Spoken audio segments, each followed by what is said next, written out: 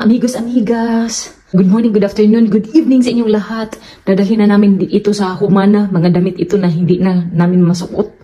Galing to kay Dakdak yung iba. Kailangan namin i-check si Philip at saka si Alex. May suay sila ba? Heto na pala si Philip may tinitignan. Hindi ko alam kung sino yung tinitignan sa likuran.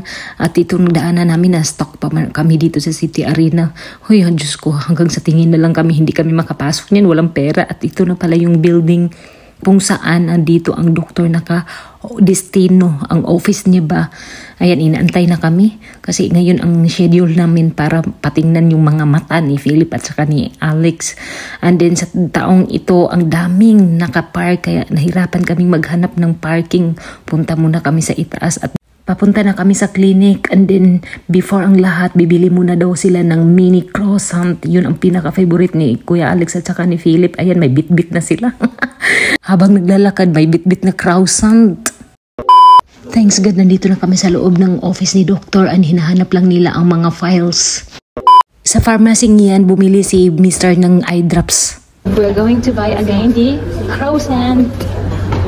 Gusto gusto kasi ni Kuya Alex yung mini croissant. We are going to City Arena. Alex ko. Yan pala ang church dito sa Trinaba, di ba ang ganda tignan? This time, papasok na naman kami dito sa City Arena. Saglit lang ha, kasi na-traffic kami. Nandito na pala kami, hanap lang kami ng parking area. It's supposed to be called, uh, Number two. it's supposed to be called, That's mine. Ay, one. Max Copy. Max Coffee? Stand up! Uy! No, para siyang no, ignorante. Hinahanap pa pala namin yung fax copy. Hindi namin makita eh, kaya hinahanap muna namin dito sa monitoring. Hindi ko din alam kung saan.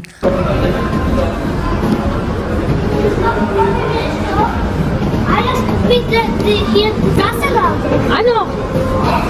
Hahanapin namin yung fax copy para sa aking photo shoot for visa renewal. Yun ang hinahanap namin. Kanina pa kami dito. Hindi namin makita. Philip ko, put it back. I'm too expensive.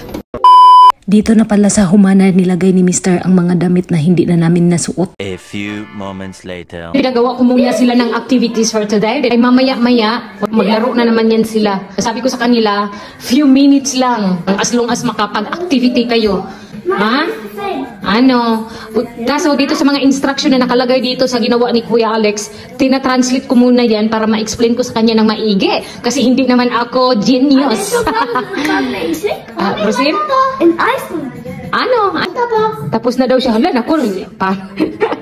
no, nabulit man ako, lo, Philip ko. Eh, Nye bedi, nye bedi. To, to, to, to, Philip ko. Nye bedi. Tak. Mami, Inside Philip ko. To, to, no, no, no. Inside. Inside the drawing. Ano po to? Put kay kuya. Inside the drawing, Philip ko. Ito si Philip. Wala siyang patient. Gusto kasi niya matapos kaagad. Kaya kinulayan niya pati sa labas ng drawing. Diyos ko, Lord. Ay, stachilo, Philip ko. Okay, tak? Dobre? Then, Toto. Ah, gusto niya kulay blue lahat. Ito si Philip. Medyo mahirap to tu- turuan. Nahirapan ako nito. Then, na, siya na. Ah, okay. Different color. Then, hindi pa siya marunong maghawak ng ano. Tinuruan ko siya. Opot. Tak. Dobre. No, no. Toto, Philip ko. Tak. Okay, do. Go. No, no, no, no, Philip ko. Your hand. Toto, tak. Then toto. Like that. Then, push. Dobre. Ano, like that. Velmi, dobre. Sige na, do it. Hindi mahaba yung pasensya ko sa kanila magturo. Kaya, always ko silang pinapagalitan. Pero hindi naman talaga all the time na magtuturo ako sa kanila. Pinapagalitan. Mamaya na ako magkwenta sa inyo kung anong nangyari doon sa, sa check-up ni Philip at saka ni Alex ko. Tapusin lang namin tong activity na ito. Very good naman si Philip, oy. Wow! Pekene! Ano? Nasa mood pa siya ngayon mag-coloring. Iba talaga ang bata na lalaki mag-coloring. Tira, pasagad na lang ba? ah, dua po. Ah, asdam. Oh, to, to, eh, to, to. Mhm. Ayan. Dobre. Tignan niyo naman mga titos-titas ang ginawa ni Kuya Alex. Perfect siya. Nahanap niya lahat ng objects na ito. Nahanap niya dito. Saka very good ni Kuya. Pagkulay niya ba, dinalian. Nagmamadali siya eh. Tutulungan ako ni Kuya Alex magluto. Nan siya daw maghiwa ng salami. Ilalagay namin yan sa rice. Yan ang dinner nila. Yan request ni Kuya Alex. So gusto niyang mag-slice. Hanggang slice lang yan siya. O, tignan. Eh, Binilang niya. Sabi ko sa kanya, lima. O, lima din ako niya. O, sige. Oh, marunong na pala siyang mag-slice. Fingers. Nako, baka masugatan ka. Hota ba? Dalahingos mandong. Hota ba? Aha, pwede na. Ayun ang pagkain ni Kuya Alex for dinner, oh. Pumali ha. Ano yan? Salami, rice and eggs. Mahilig siya sa ganyan. Oh, ano? Yan ang favorite niya. Ah, I forgot Kuya. We got longanisa. Ah, we got of. But I will do it zaitra. Dobre? No, teraz. Tiras? Albo. No, kasi I need to cook it. What? What? Ashton niya. We got egg. What? Eggs. What? What? I want this to... We get boiled eggs and they, it has an eggs as well in your rija. Mommy, we don't have one of. Oh, Zaitra. Dobre? Ano, I will do. For you. Pumali. Sus, ginoo ko. Mahulog ka ha. Okay, mapasok ka dong. Gusto kasi niya magluto, ayan. Sige, tarungan na okay. Father, Son, Holy Spirit, and uh, double quote apologies and double, double apologies and we'll Say thank you. thank you. Say thank you for the food. Thank you for the food. Sabi ni doktor, yung mata pala niya nagka-virus. Yung ilang previous vlog ko na na, may dugo yung ilong niya. One week ago, yung taingan niya. Ngayon, ang mata. Akala ko sore eyes. Nag-research na siya. Sabi niya, inflammation daw. Pareho kaming dalawa. Mali.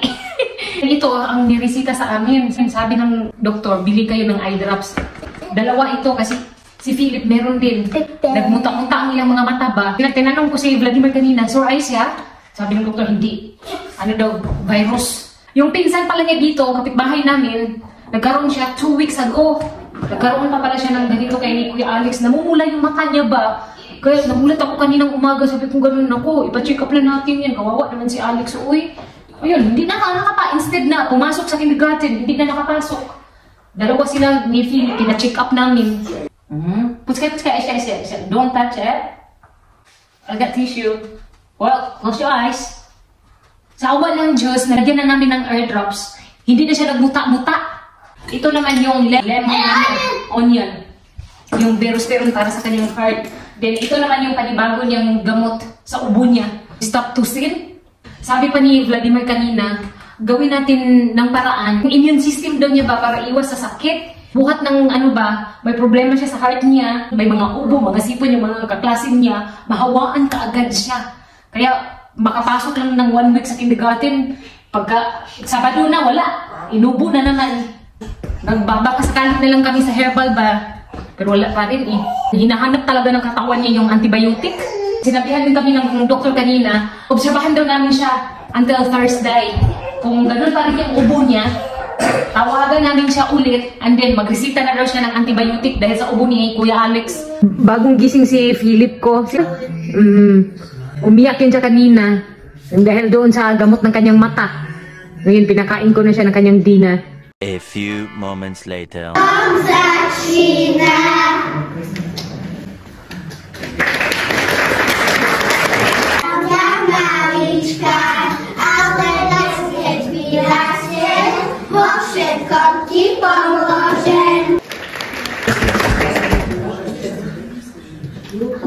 Hliadky robili vtáčky, každú lásku maličku. Zo všetkého svoju mamičku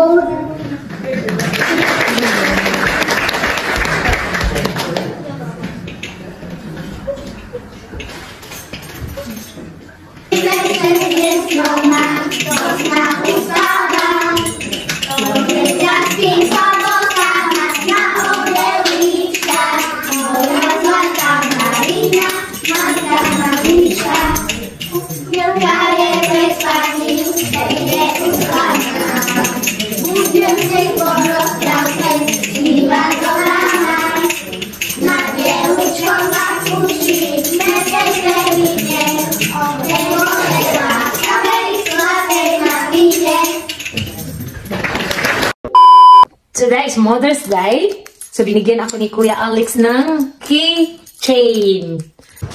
Siya ang sulat niyan. And then, nag-draw siya. Then, binigay niya sa akin kasi Mother's Day daw. Happy Mother's Day, everyone! Ano ba yung background namin, uy? Nangkahiya naman sa madlang people. Happy Mother's Day, Mommy. Dobre! Ďakujem, kuya. Kiss mami. Ka-sweet siya. It's lipstick. Lipstick daw. Ito, oh, binigay ng no, taga-kindergarten. Heart man ito, para sa akin. Kaso lang, kinagatan ni Philip at saka ni Alex. Hindi na siya heart. Ang puso ng saging. ano ba yan? You're ginger. Ano?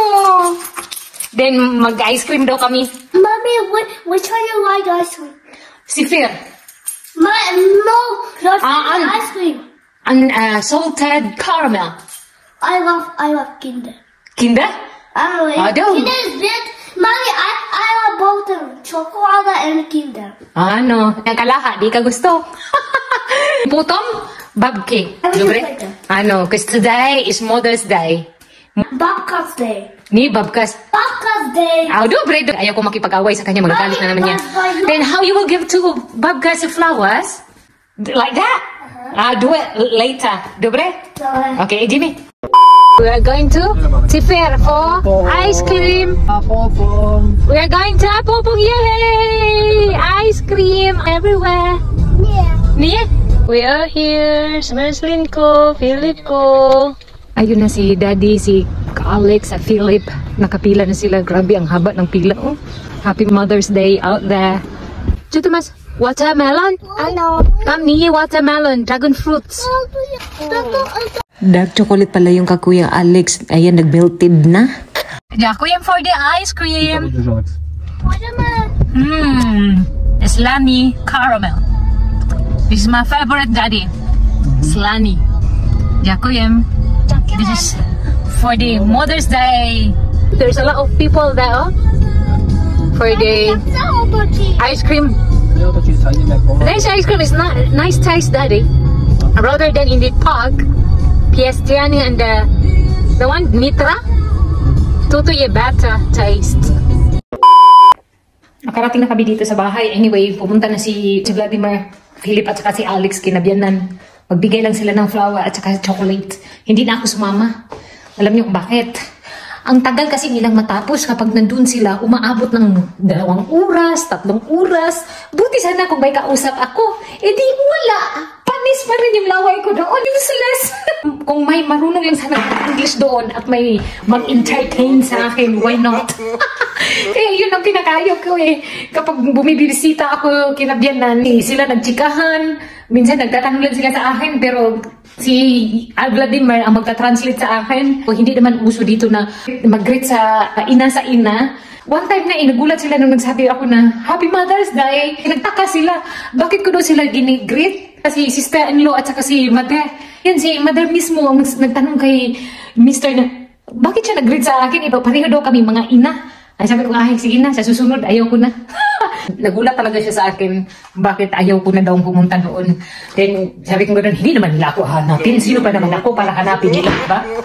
hindi naman ako espesyal. At isa pa, hindi naman din sila marunong mag-English. Eh di wala, quits kami. Ganito ang aking outfit kanina, oh. Atin doon sa event ni Alex ko. Tinignan nila ako. Siguro nagulat sila ba? Ba't ang sexy nito? Eh, 30 minutes lang ang program na iyon. To do outfit talaga si Margie. Let's run it for fire. Fires.